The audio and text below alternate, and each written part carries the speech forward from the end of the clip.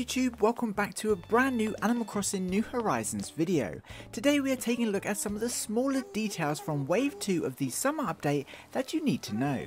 So without further ado, let's get straight into today's video.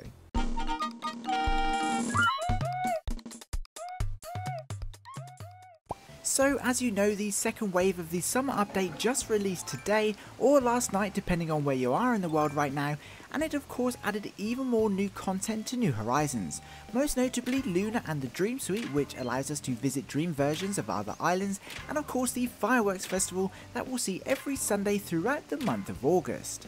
Of course these are the most obvious of the new features added, but as always there are plenty of smaller features and details that we're not told about until someone accidentally discovers them. So here are 5 details you need to know. Number 1. Camera as you know, the camera app on the Nook phone allows us to position the camera and set up the perfect scene for a screenshot. It contains a number of features including filters and fairly modest camera controls to get the perfect angle but thanks to Wave 2 of the latest summer update, a brand new feature has just been added to the camera.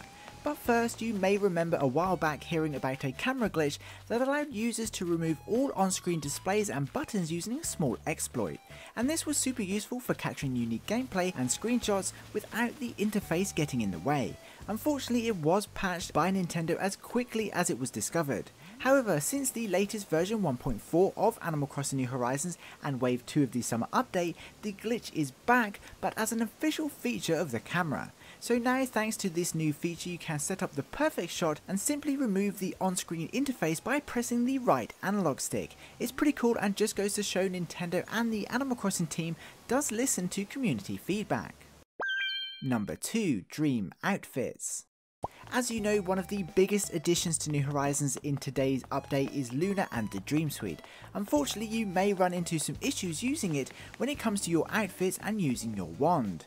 To enter the dream world and either upload a dream of your own island or visit someone else's, you need to lay down on your bed. However, it turns out just like many other features in the game, such as the changing room at the Able Sisters, you can't actually enter the Dream Suite whilst in a wand outfit. When you try it reads, you look very cool but you'll have to undo your transformation before drifting off to sleep, and stops you entering the Dream Suite.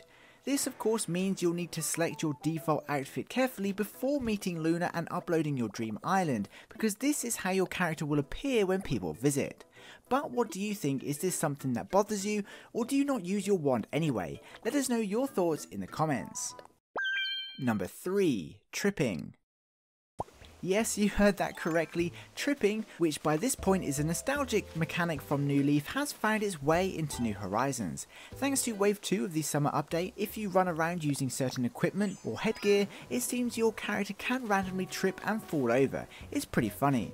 Of course, back in New Leaf, this was part of the bad luck mechanic that only Katrina could cure, where if you were having a bad day, you would keep falling over. The good news is the bad luck side of things doesn't seem to have returned, only the tripping.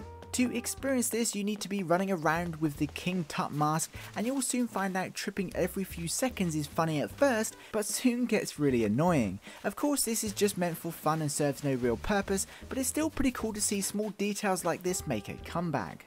Another way to experience this tripping is if you're running while holding a balloon. Thanks to this gameplay from Animal Crossing World, it seems if you're not concentrating or running around too fast, not only do you trip and fall, but you'll also lose your balloon. Very sad times indeed. Number 4. Tommy's Flag of course, Wave 2 of the summer update isn't all about adding big new features, but also about adding tiny new details. One in particular is a brand new item that is now available at the Nook Stop.